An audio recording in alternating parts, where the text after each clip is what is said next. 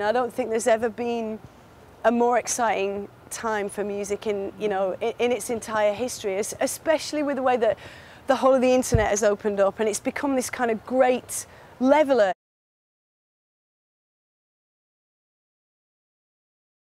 It seems like it is a really like sort of another tipping point actually like, yeah right now particularly in the states where like you know dubstep hasn't really been I mean, it's people know about it and love it, but it hasn't really been like so like fever pitch as it is right now. I totally agree with you. I think at this point it's reached the next level. London is an absolutely fascinating city. I mean, it's very much like Los Angeles or New York in terms of the fact that it attracts a lot of really, really ambitious immigrants, if you like, these kind of nomadic people who gravitate towards a city because of its history, because of its creative energy, and because of the fact that they want to surround themselves with kindred spirits, you know, and they feel that that's the best possible way to, to position themselves. There's this amazing energy in the media right now, this hunger to, to, to find out what's going on with the scene. But mm -hmm. yeah, you know, there's all kinds of mutant strains of the sound. You know, it's all yeah. really born out of But of yeah, funky's, uh, funky's happening. If you really want to find out what's going on with funky right now, you got to go and listen to Code 9. He is the man who plays mm -hmm. funky like no other.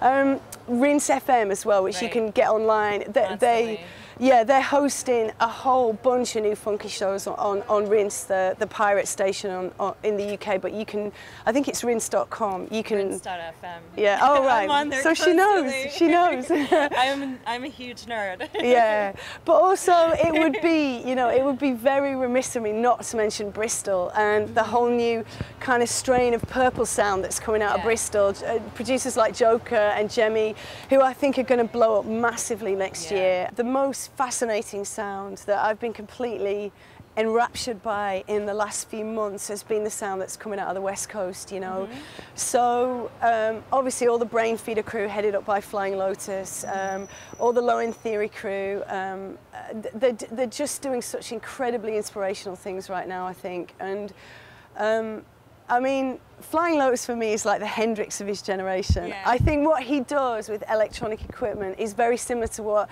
Hendrix was doing with a guitar years ago, you know. Mm. And I remember many years ago, Roni Size, who I absolutely love, I'm sure you know, like a huge UK drum and bass hero, yeah. always said to me like, um, girls love bass music because it rattles their ovaries. And I thought it's kind of probably a fair point well made actually from Roni, you know. But for me it's it's almost it's it's it's deeper and it's somewhere right at the very right at the very back of your cerebral cortex maybe. I don't know. It's it, a, a tune will will literally weave itself into your subconscious and you just hear it like the refrain echoing in the back of your mind, or I do anyway. So I walk around endlessly sort of putting myself in a situation where I'm virtually run over because I've got some tune banging away in the back of my head. Oh, didn't see that truck.